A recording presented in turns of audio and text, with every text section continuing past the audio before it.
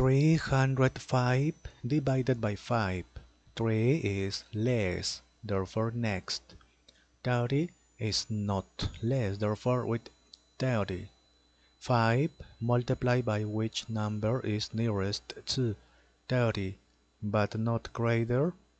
5 multiplied by 7, 35 is greater.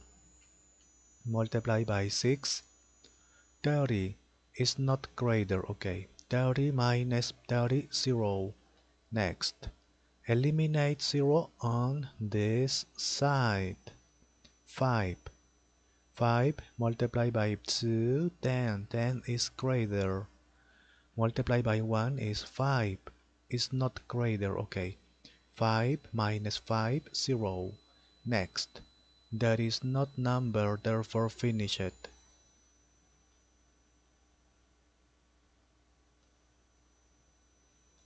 Three hundred five divided by five, sixty-one.